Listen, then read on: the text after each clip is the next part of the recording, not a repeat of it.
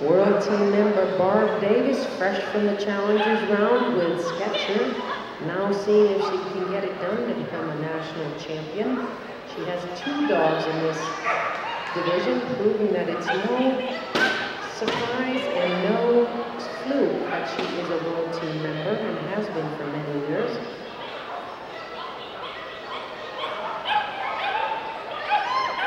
Barb and her husband being some of the nicest people, I think, in the world. Look at that running dog walk. That was about 1.3 seconds.